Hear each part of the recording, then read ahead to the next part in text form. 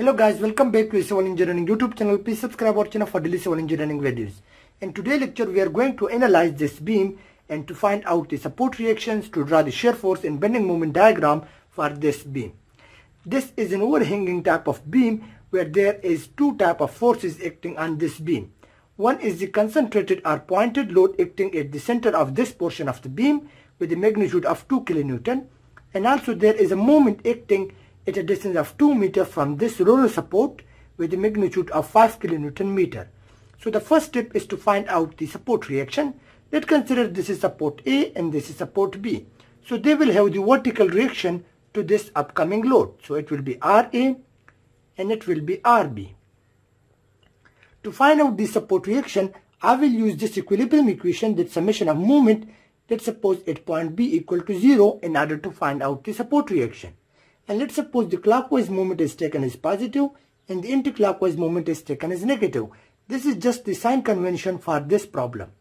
So the force that creates moment, so we will start from this point. So RA will create the moment about point B in the clockwise direction, in the clockwise direction. So it will be taken as positive. So it will be RA multiplied with the momentum. The momentum is the distance from this RA to the B. So it will be 3 plus 3, so the total distance is 6 meter. Now, this load also creates a moment about point B, so it is acting downward, so it will create the moment in the anti-clockwise direction about point B, so it will be taken as negative. So minus 2, 2 is the force and momentum is 3 meter. Now, the other force that creates a moment about point B is this moment which is given to us, which is in clockwise direction. So it is 5 kilonewton. So summation of all the moment about point B equal to 0. Now 6RA is equal to the, if we shift this wheel into the right side, so we got 6 minus 5. So we got RA, 6RA is equal to 1. Or we can say RA equal to 1 by 6.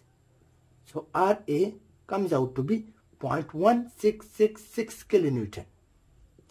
Now this is the support reactions at this support. 0.1666 kilonewton. Now to find out Rb, we can use this equilibrium equation that summation of all vertical forces equal to 0. Now the upward force let's consider is taken as positive and the downward force let's consider is taken as negative. This is just again our sign convention for this problem. So the upward forces are RA and RB and the downward force is 2 kilonewton. So upward forces are RA plus RB while downward force is 2 kilonewton so it will be taken as negative. Summation of all the vertical forces equal to 0. Now RB will be equal to the, if we shift this wheel into the right side it will become 2 minus RA.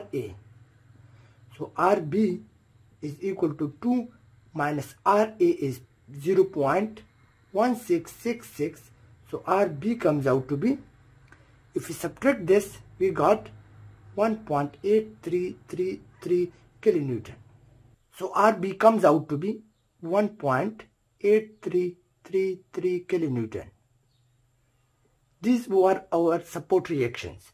Now to draw the shear force and bending moment diagram let we consider the reference lines. So these are the reference lines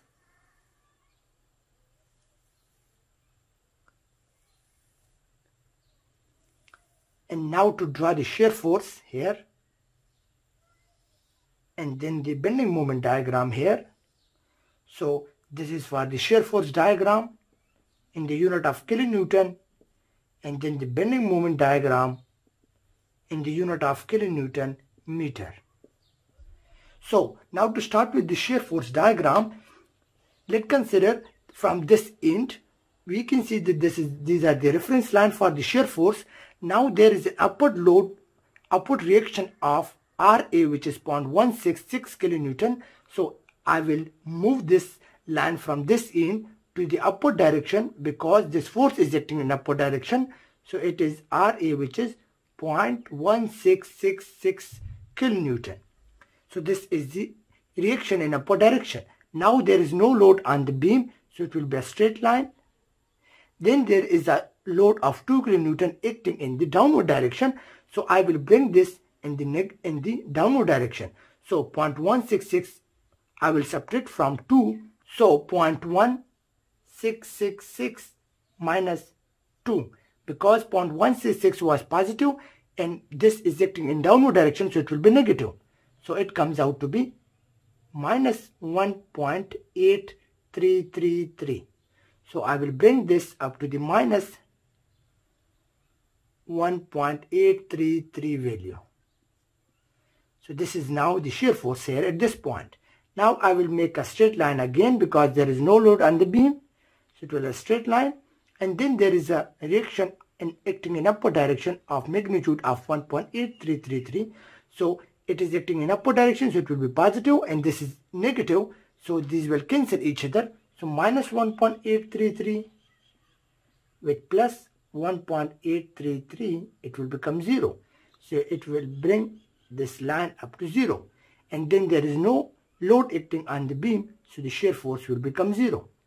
So this is the shear force diagram for this beam. Now this will be positive shear box and it will be negative shear box because this is acting above the reference line and it is acting below the reference line. Now we know that the base for this is 3 meter. This is 3 meter distance and this is also 3 meter. So we can find out the bending moment by finding out the area of the shear boxes. So this is one shear box and this is second shear box. So we will find the area of this shear box. So it is A1 let's suppose and it is equal to the area of this shear box. The area of the shear box it is a rectangle so it is the height is 0.1666 and the base is 3 meter so it will be base into height so it will become point it will become 0.1666 multiplied by 3 meter. So I got the area for the shear box equal to 0.5. So this is the 0.5 is the area. It means that it is the bending moment here at this point, 0.5 kilonewton meter. Because the area of the shear box gives us the bending moment value. So this is the bending moment here at this point. Now, this is a negative shear box, so it will be minus bending moment value. So it is the height is minus 1.833 and the base is 3 meters. So we will find the area of this box.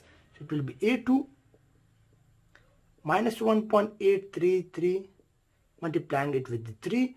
So I got here minus 5.50. So this is minus 5.50 and we have here plus 0.5.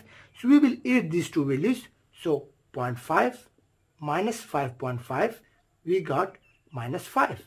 So here we will get minus 5 value for the bending moment at this point.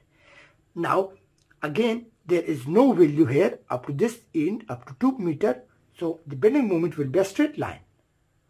Again there is a positive bending moment of 5 kilonewton meter. How we can say that this is positive because it is acting in the clockwise direction and if we look to this force which is was acting in the upward direction so it was acting in the upward direction and we assume that it was positive. So this was a positive value for this shear box. So similarly, this is also acting in positive direction. So it will be taken as positive. So it will close the box here at this point because it was minus 5 and this is plus 5. So it will cancel each other. It will bring the zero value of the bending moment at this point and then there is no shear force. So there is no bending moment here at this point. So this is the way how to calculate and draw the shear force and bending moment diagram for this beam. Hope you guys understand and don't forget to subscribe our channel for daily civil engineering videos. Thank you for watching our video.